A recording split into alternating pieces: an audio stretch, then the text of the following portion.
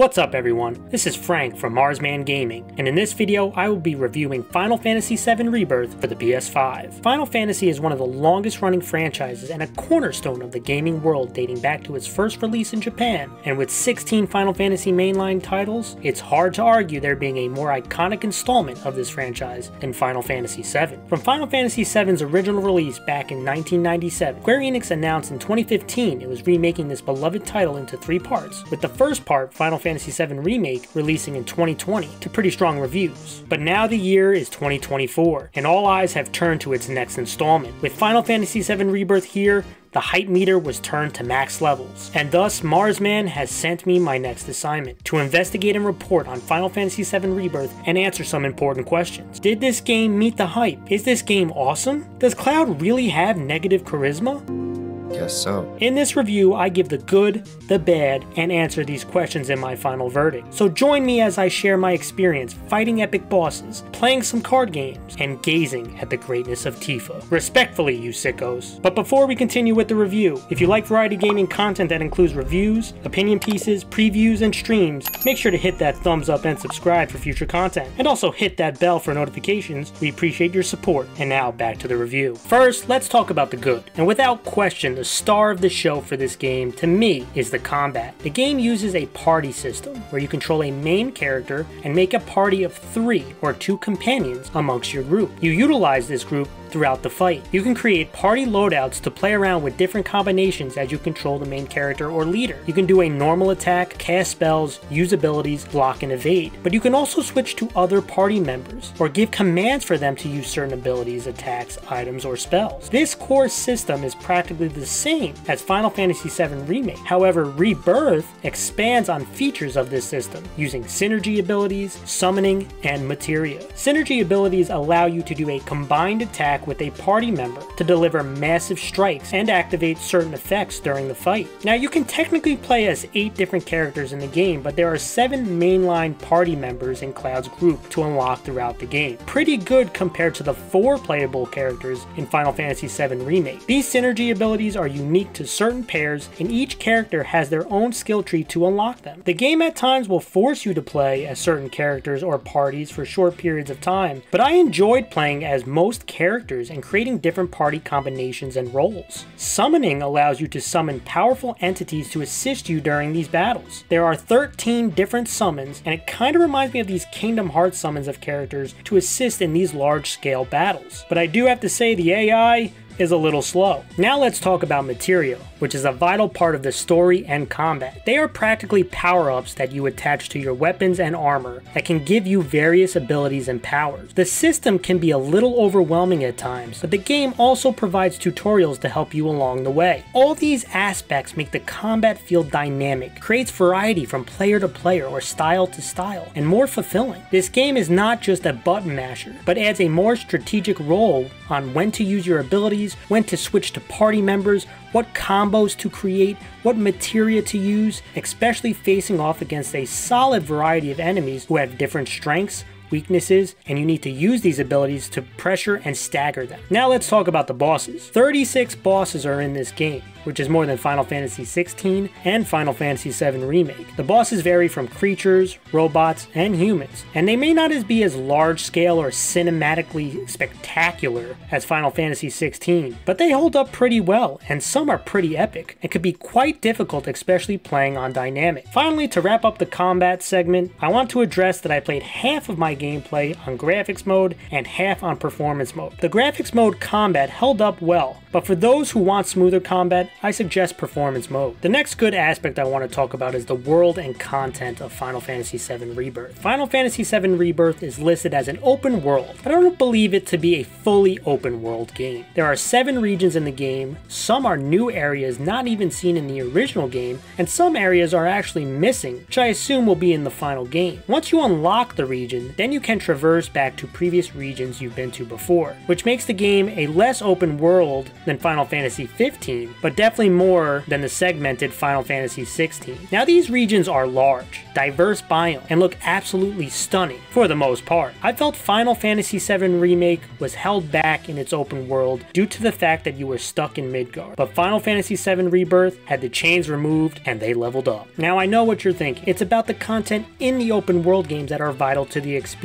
and there's a lot of examples of open world games that struggle to make the world feel fulfilling by drowning the players in repetitive missions, feeling empty and nothing to do, for which I agree. So how did Rebirth do? Well, it takes an average of 35 to 40 hours to complete the main story of the game, and 60 to 100 hours to complete with the side content. The things to do in this world are pretty expansive. You have your main mission, 36 side quests, which are usually multi-phase missions that actually give you unique rewards and focus on a certain party member in your team. These missions can affect the relationship with Cloud and can actually change some moments during the game. Then comes the world intel missions, and this is where it is more hit and miss. Now I enjoyed the combat simulators, the Fiend intel, the Proto Relic phenomenon missions. They also have tower missions that feel like they were pulled right out of a Ubisoft game, and the monotonous scanning a life spring area, finding a divine intel using QTEs, and these can be repetitive and a slog to get through at times. But Final Fantasy VII Rebirth has one more ace to play, and that's the minigames. This game gives you 30 plus minigames that you find throughout the game, and a couple really shine through for me. The Queen's Blood card game is pretty addicting. It makes me run around the regions looking to collect cards and build decks, avoiding the main missions. Fort Condor is a tower defense strategy game that makes me rage, but I can't put it down. Plus, you can play the piano. Oh, and can I also add 49 weapons to find and unlock, more than Final Fantasy 16 and double the amount of Final Fantasy 7 Remake. The open world is not perfect, but for the most part, the missions and rewards were fulfilling and give you plenty to do. The last good aspect I want to address that may be a bit controversial is the story and characters. Now I am going to avoid major spoilers, so don't worry. However, I do have a confession to make. I have not played the original Final Fantasy game.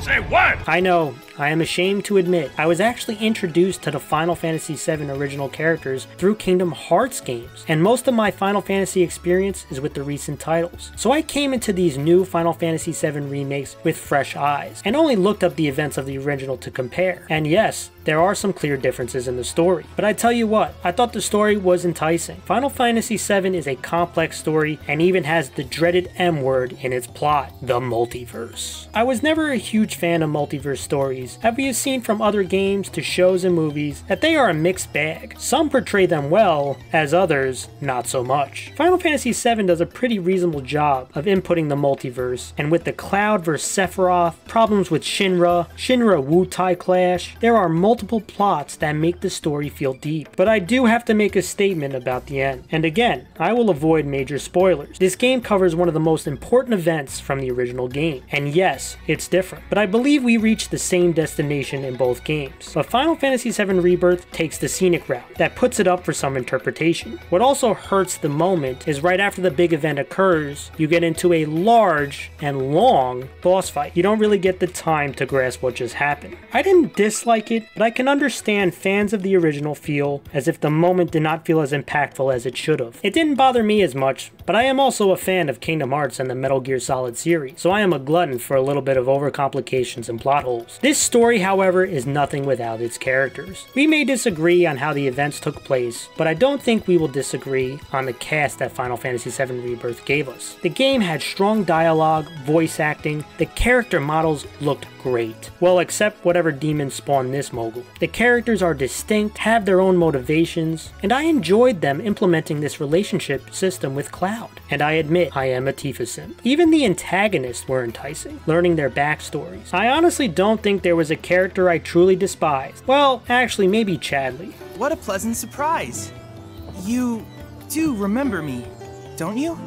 Yes, there was some cringe moments, some ridiculous over the top moments. Is that Red riding a chocobo? But the writers did a good job of balancing humor and drama, and they deserve credit for that. With the good, we also have to talk about the bad. And I don't think there's as many bad things as I saw good things, but there are some blemishes that we have to address. And the first thing has to be the performance of the game. And I won't dive into all the technical terms of its performance like Digital Foundry or IGN, for which I do use as a resource. But I can only share with you my experience In performance mode, this game can be absolutely stunning at times and a bit ugly at others. It's true, you can see graphical issues with textures rendering inconsistently, some pop in occasionally, or character models getting these weird shadows that look like they are turning into a demon or into Nosferatu. We even see at times during cutscenes where the music is blasting and we can barely hear what the characters are saying. I mean, the music is great, but come on, man. Now again, this is not super frequent, but it shows, especially performance mode could use some real polishing, and the key word is consistency. The next bad aspect I want to address is traversing in this open world. Final Fantasy VII Rebirth has done a lot right in the world they created, but some basic mechanics like climbing, swimming, jumping is clunky and at times painful. I have spent far too much time running around a mountain looking for stupid paint on a wall to prompt me to an area Cloud can climb. There were even times where my party members can climb a certain hill, but Cloud couldn't. Like what the actual hell, man? This world was beautifully built, but the mechanics to traverse it at times makes exploring a chore. We have seen a lot of open world games, and unfortunately, this game might be one of the worst at some of the basic mechanics. The last bad aspect I want to address is the camera of this game. This game is a third person perspective game that gives you three camera options. Option 1, 2, and 3. Option 1 is where you are really zoomed into your main character, practically giving Cloud a lice inspection. Option Option 2 and 3 are slightly better and pulled back more, but there's not much of a difference between 2 and 3. And boy, at times this camera angle really gave me trouble during combat. As the locking system is sensitive, it is pretty difficult to sense when you're being attacked outside the focused enemy. Also, synergy attacks, or synergy abilities, zoom in even further to show the partner attack animation, and you can't even see what your enemy is doing at times. I have won a few battles where I can't even see if my attack struck the enemy, or I'm zoomed so far into my enemy's body, I can't even enjoy the victory. This may feel small to most, but something that I wanted to share. Overall, there were positives and negatives with Final Fantasy VII Rebirth. This game provides a fun, dynamic combat system and an immersive world with characters you can follow in love with. However, the performance of the game can use some polishing, and traversing in the open world can be painful at times, when it doesn't need to be. With all that said, I have to admit that this is the best Final Fantasy game I have played. I am giving Final Fantasy VII Rebirth a 9.3 out of 10, and easily a Marzzman Gaming stamp of approval. It is difficult for a very hyped game to live up to the hype, but I believe Final Fantasy VII Rebirth does that. Some of the performance and traversal issues keep this game from hitting elite or masterpiece levels in our scale, but this is an awesome game. Oh, and does Cloud have negative charisma? Yes, at times, but my man can still pull. Thank you everyone for watching. If you haven't done so yet, hit that thumbs up and subscribe to help the channel. Until next time, this is Frank signing off. See ya.